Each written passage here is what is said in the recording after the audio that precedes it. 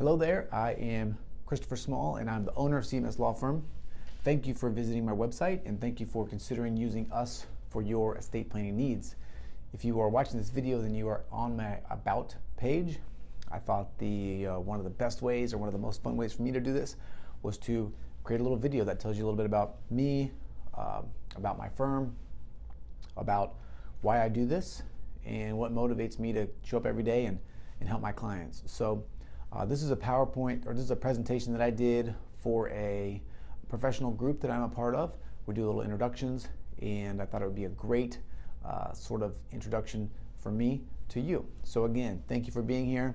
Please, please consider us for um, for helping you with your estate planning needs. Uh, we would love to do it, and I guarantee you, you'll have the best service you've ever you've ever experienced. You'll have the best results you've ever experienced, and we'll get to know each other for life. So, on that note, please enjoy uh, the presentation, my presentation about me. Hello, hello, and welcome to uh, the introduction of me and my law firm, right? Introduction to Christopher Small and CMS Law Firm. So I'm the owner of this firm, and uh, you're going to learn a lot about me and a lot about this firm as we go through this little presentation. It's probably going to be oh only five or six, seven minutes, so it's going to be quick. It's going to be it's going to be hard hitting, but by the end you'll know a lot about me. You'll know a lot about my firm. You'll know a lot about why I do what I do, and you will hopefully be compelled to consider using us for your estate planning services because that's why we're here. That's why I do this is to help people to create legacy, to create generational wealth, to protect families, to do all of that. Uh, eliminate estate taxes, you know, basically help you reach your goals. That's what we do. So let's just dive right in. First, Christopher, me. I was born and raised in Junction City, Kansas, which is that red dot there, a small town in a, in a uh, big state, uh, farming community. Uh, we were raised. I was. I was. Uh, Junction City is about thirty thousand people, and uh, you know I had a good childhood. Raised by my my mom and my stepdad. Super fun time. Uh, bunch of brothers and sisters hanging out and played sports, did all that kind of fun stuff, and really enjoyed my childhood. It was great. No big deals, no problems, nothing to complain about, nothing that was driving me to the law or anything like that just sort of uh, uh, grown up in a small town, you know, and, and uh, in the Midwest. It's kind of what you would think it would be. When uh, I turned 18, went to KU, University of Kansas. That's a Jayhawk. It's a baby J. And uh, pursued my undergraduate degree. Got my degree in psychology with a minor in political science.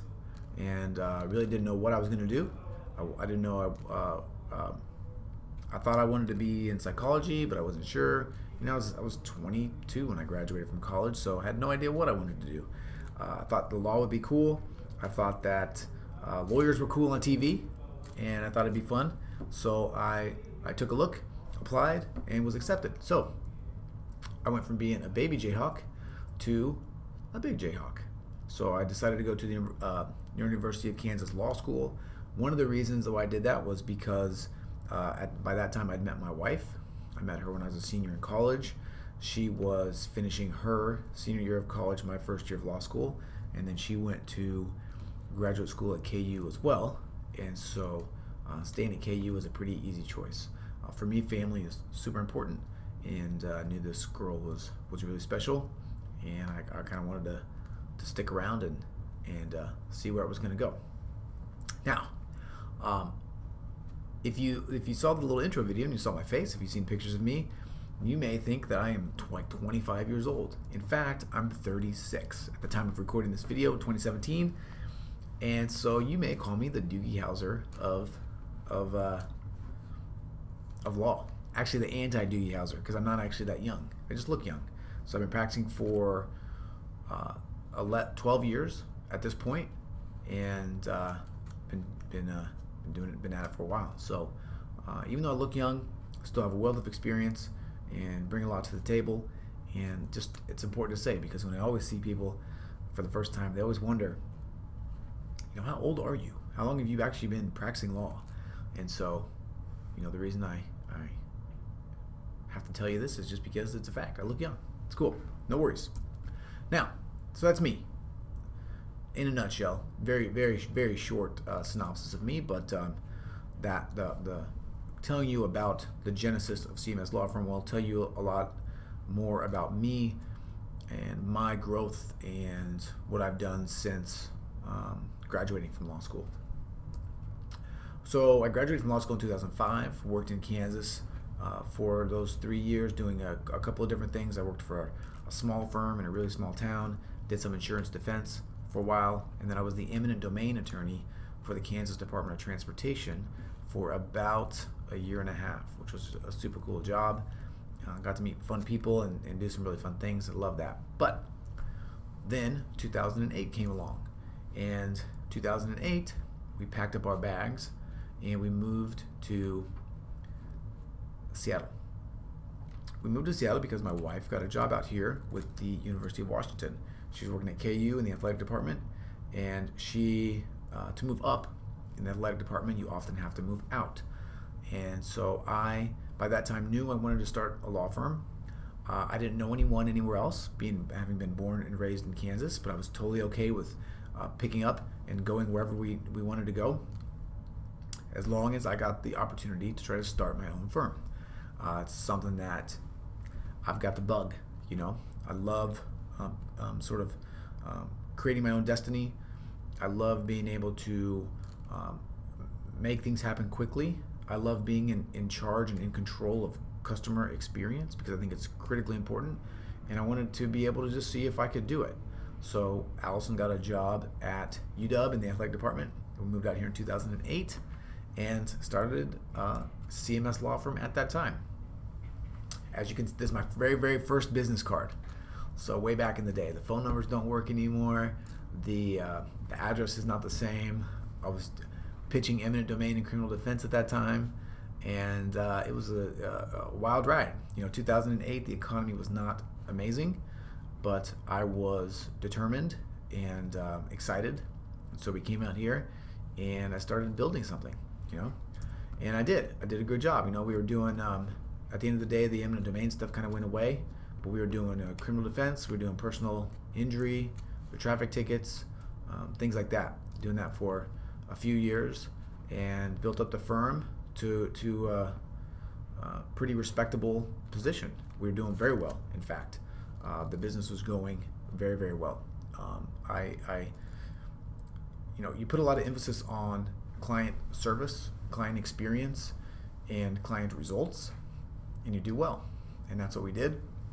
And we experienced the um, fruits of our labor as they say. But but uh, you know, things started changing. You know, the gears were turning for me. I was I was um, growing, sort of um, bored with with that that those areas of the law. I think that there are going to be some problems with them in the future from a business perspective, and they just didn't really uh, speak to me and give me that sort of inner motivation that I wanted. You know, one of the reasons why I wanted to create my own business was to um, have something that could last a long time. You know, to build something up that would that would really help people and and um, promote the things that I was interested in. And those areas of the law just just didn't do that for me. You know, I love business. I love um, everything that goes with that. And so I started looking around and started thinking about what other areas of the law will afford me to you know be my highest and best self, give my best to my clients, and also serve the people that I'm interested in serving. Because, you know, I own this joint. I want to do what what uh, what I'm good at and what helps the most people. So, started thinking about that, and then you know things changed. Things changed for the better. Uh, some some a new person came into my life. Blakely, this is my daughter. Um, when she was born, things really, really changed for me. Um, you know, they say you don't know true love until you have a child, and, and that's true. And but a bunch of other things really came into really clear uh, vision for me when she was born, and that included legacy, and that included you know, wanting really wanting to pass down my values and, and create something that lasted longer than me and longer than her even. So I started thinking really about how how can we do that? You know, where where where did all of these interests intertwine? And I started thinking about what was really important to me. You know, what was really, you know, really what was important. Not having a nice house or having a nice car or anything like that, but what was really what really really mattered for me. You know, and that was that was family. That was um, legacy. That was um, generational wealth. It was creating generational businesses. Um, all these things started coming into to, to real clarity for me, and um, you know the direction that I wanted to go became relatively clear, relatively, relatively fast, and relatively easily. And then this guy came around. Uh, Piper is in the back. This is Jackson. Jackson is uh, is my second child, and as you can see, he's awesome, super cute, likes the rain boots, uh, and so when he came along, you know, there was just another push there, another push to to uh, really start taking action. And I also realized, you know, look, it's time for a change. Uh, it's time to act now. Stop waiting. Stop putting this off. You know what you want to do. You just go and do it. And so I did. I sold uh, my interest in the other firm, and I transitioned into estate planning uh, 100%. And I've been doing that for a while. And then baby Dylan showed up. Third and final kid, but he's super cute, if you couldn't tell. Um, and by this time, you know, it was 100% clear what was important to me in my life and, and what I wanted to pursue and, and what I wanted to do. And that was that was family, right? Um, providing protection for families, providing opportunity for families, showing people how they can use the things that they have now to create generational wealth, to really truly empower the next generation without uh, creating trust fund babies, right? To do all of these fun um, things to help not only my family, but to help the families of my clients. Uh, money, right? Um, whether or not you like money, I love money, okay? Uh, money empowers you to do many, many things, right? It's a tool. So, um, teaching people how to grow it and how to leverage it to do the things that they want, to again provide opportunity down the road for their children and for their grandchildren and for their great grandchildren, but again, without creating trust fund babies. Legacy. Legacy is extremely important to me. And for me, legacy really falls outside of the monetary realm. For me, legacy means passing down your traditions, passing down your values, passing down your morals. You know, there, this this country is built on immigrants. This country is built on the hard work of prior generations. And I want to be able to help families preserve those stories and preserve the lessons learned from and the sacrifices made by earlier generations if people want, right?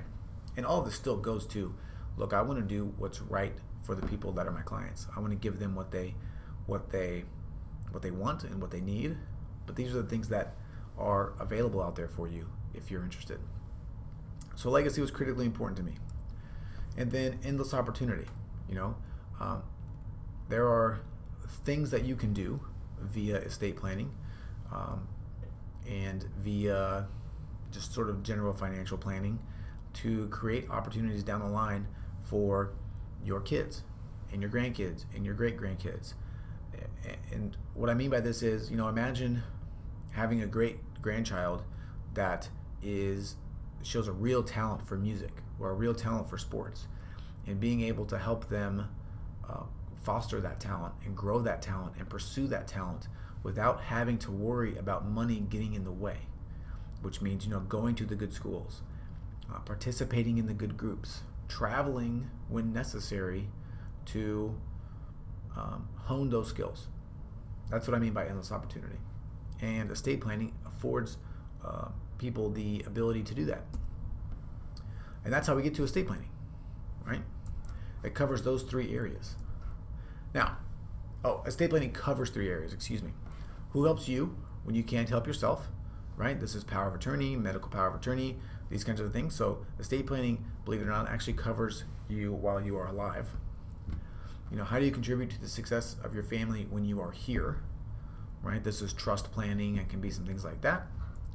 And then how do you contribute to the success of your family when you are gone? This goes to legacy, this goes to opportunity. Uh, again, this involves trust planning and, and things of that nature. You know, um, estate planning is not just about moving your assets down. It's not just about tax avoidance. It's about the bigger picture and being able to um, utilize your lessons and your hard work to empower future generations to become better. And I'd love to tell you about all of these things. I'd love to tell you about the way that I can help you with all of these. But we're out of time. I told you this is going to be a short video. It's just an introduction. If you want to know more, you can uh, come and talk to me. Call me 206 651 1512. Wait, 206 659 1512. Don't even know my own phone number. Or you can go to my website, cmslawfirm.com. You're already here. Look around the Rich Life Lawyer Show. Uh, you can go to my YouTube channel as well. I've got some, um, you can see all the videos there that I've made. There's some longer form content. There's a whole bunch of fun stuff that's on there. And um, I hope you really enjoy this. One of the other things that you can do too that I don't have on here, um, but that I could probably just type in, is um, I'm doing a, a, webinar that you can you can take a look at. That is going to be at um, we'll just call it. We're just going to pull back the curtain here, right? cmslawfirm.com forward slash I don't know what should we call it webinar for now That'll just redirect wherever we need it to go. But please take a look at that if you're interested. Uh, that's where we're going to talk about sort of these three secrets, three keys to protecting your family and giving them the life that you want them to have. All right, that's it. Thank you so much for your time. I really appreciate you being here and learning a little bit about me and my firm. I would love to help you. And the next step is for you to take the next step and reach out and say hello, set up a time for us to talk, and we'll go from there. So, thank you so much. Talk to you soon.